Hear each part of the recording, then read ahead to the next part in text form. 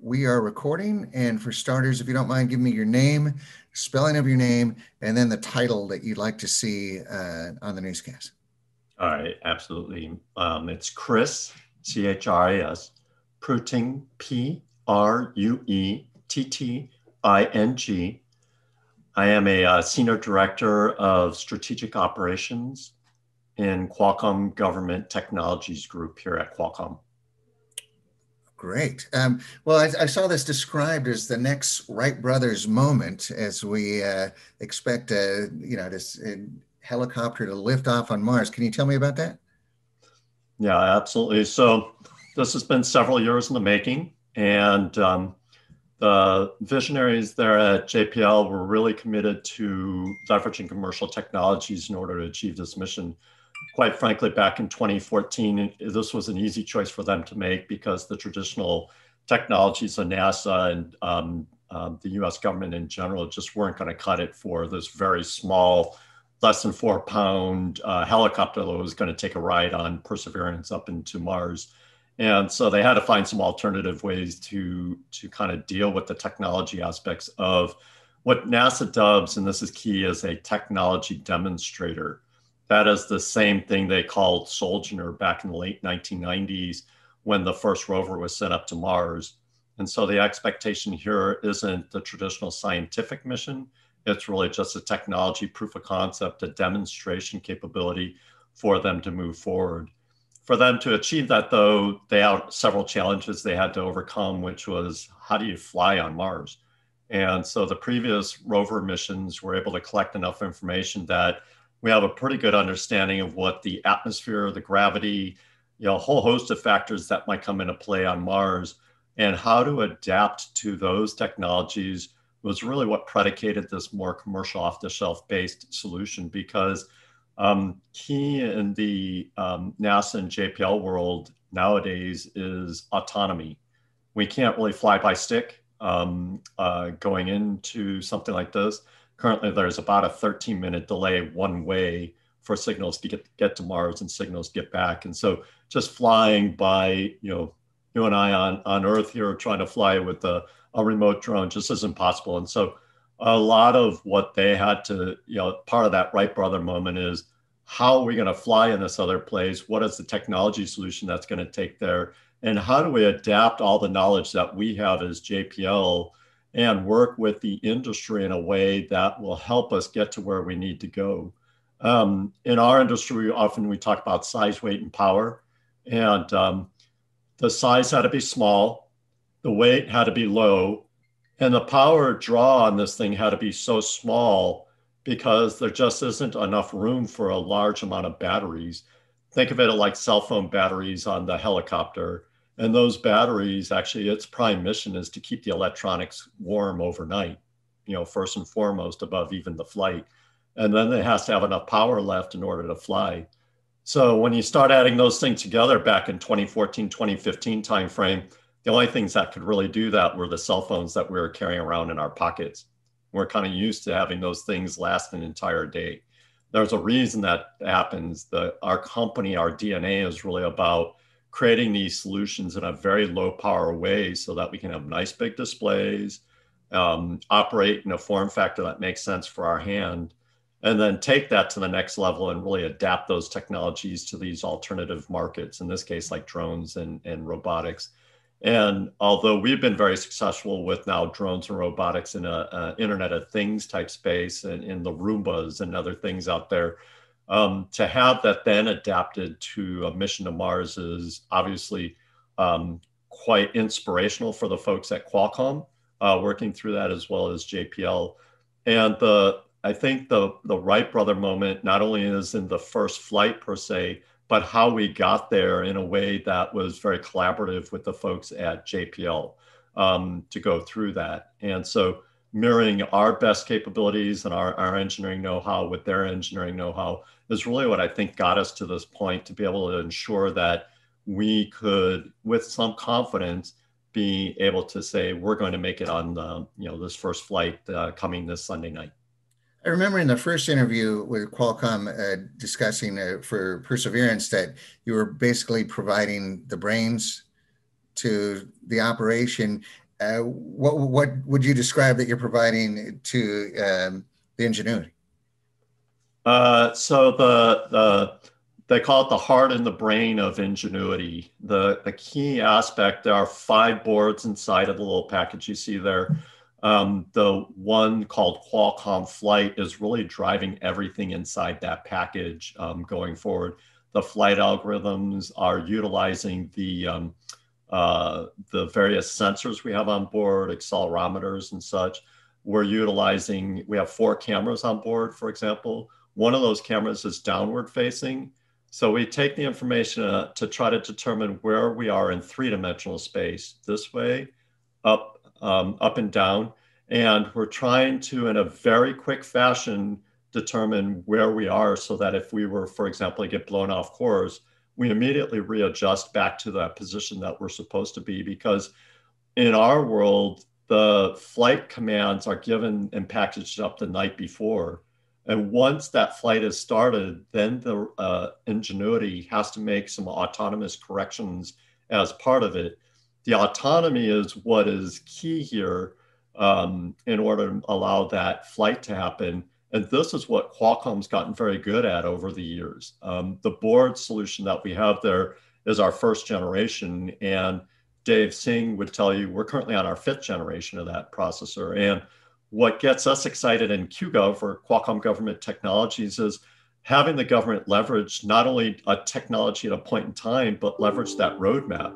So over time, it can pick and choose the technologies it wants to use for that next mission that gets all the goodness from companies like Qualcomm and quite frankly, the ecosystem that we're, we're supporting and all those great uh, advances that are being made they kind of get those for free and use that as their starting point. And that's evolving year over year, as opposed to maybe a traditional defense or NASA cycle every 20 years or generation creating new technology solutions. I remember they were describing the what was it the eight seconds of terror as the Perseverance was going to land on Mars. Will there be something similar like that as, as uh, Ingenuity is ready to take off? You know, uh, uh, I'm I'm sure there will be. So um, with us, they've been testing things all along the way since last Saturday when um, Ingenuity came off Perseverance. And so behind the scenes, there's a lot of telemetry data that says everything is working out exactly as planned. Batteries are staying charged. We have every confidence. They just did a, a rotor test last night at um, 50, what they call 50 RPM. So not that fast, but enough to at least prove that it can accept commands to start the rotor it can then run the rotor and send all that data back to Earth and let us analyze that. And so, um, you know, I, I think uh, everything's set in a, a, good place, but of course, we'll be doing some nail biting up until the moment. Um, 13 minutes will pass before we know that it actually happened. That's slated, and you've probably seen to be um, 3:30 a.m. Eastern time, um, based on Mars time, or on Mars, it'll be roughly 12:30 in the afternoon um, there. So at that point, and that's uh, 12:30 p.m. Uh, a.m. Sorry, sorry, Monday morning um, here on the West Coast to for us to watch and see that telemetry data coming back. And again, there'll be a, a delay of you know 10 about 13 to 20 minutes while that data is being processed. So we'll be anxiously awaiting kind of what what happens there. So um, that uh, call it your your 13 minutes of terror uh, as we're waiting. Kind of, we know that the flight's supposed to go off because we've pro, pro, pre-programmed through JPL's instructions uh, the, the, exact time that it'll fly. And by the way, that time's picked because it, the batteries, remember, have to warm up the electronics at night, and so they have to get enough charge in the morning to recover from that fly, and then get enough charge back into the battery so it can survive the next Martian night. So I would expect that over the, the course of these 30 days and these five flights, it'll be these mid-afternoon kind of flight times just to kind of honor where the, the battery life's going to have to be on this um, thing for those 30 days. Is all the technology in that's packed in this, that's already there, right? There's no adjustments you can make. I mean, your work is done, right? It's now just to see if it happens.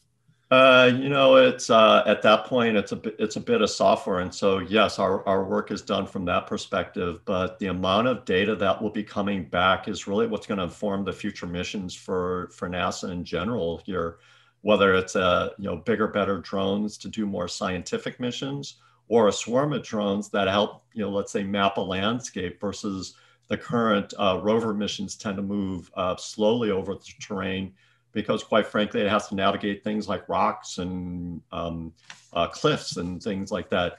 With the drones, the original name given to uh, the helicopter was Scout.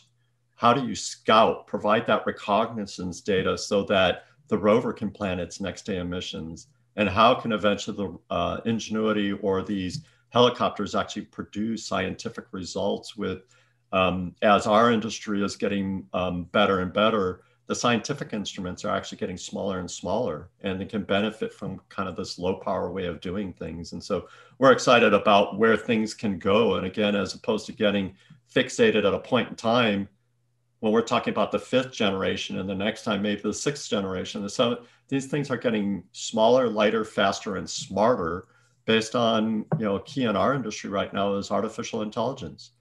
And when you look at where nasa and jpl want to go over the next 10 years just about everything there is about autonomy. The more uh, autonomous the solutions are, the more processing at the edge. If I can do things on the moon and in Mars without having to send all that data back to Earth, how much more they can get in understanding what's really going on there and kind of make these big, bold discoveries. And, you know, their big goal here is to discover life in, in other areas and other planets and other moons.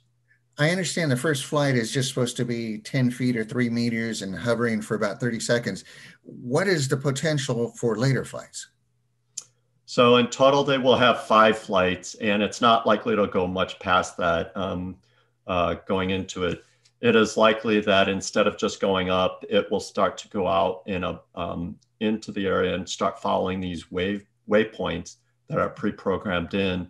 And the goal with the um, the um, sensors and the camera on board is to start and land in the same spot. And so that's really going to be key to um, all this. The um, ingenuity with the power that they've kind of programmed in there is expected to fly only up to about 90 seconds. And that's really what's going to prove the flight.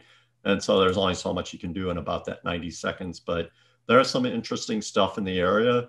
It's likely to stay it's currently in an, area called the airfield, 10, 10 meter by 10 meter. But the 10 meter by 10 meters in, in, inside something about the size of a football field. And so it could theoretically go anywhere um, in that area, which uh, the Perseverance is already deemed flat enough for flight um, to do some more interesting things. Likely, what I'll do is just uh, do a series of maneuvers, take some pictures, and then try to come back to the same spot. And quite frankly, they'll have they'll have success on that first flight. Anything above that is just um, kind of gravy. Uh, so big giant contribution from uh, Qualcomm and in uh, the San Diego area. Um, what will you how how and you know what will you your local group be doing uh, you know at the time of this liftoff? Where will you be? What, what are you, how are you going to watch? Uh, I will be watching with the JPL engineers that made this all happen. They've opened up a portal for us to do that. Um, to my wife's chagrin, it's at 11:30 at night all the way till two in the morning. So um, we'll see how that goes. Um, we do have some shirts to kind of commemorate the first flight, we'll all be wearing our shirts uh, as part of that. Really looking forward to it, and you know, uh, for all of us, we're so excited about what's going on. The time time doesn't really matter, but you're right. Uh, this this technology was invented.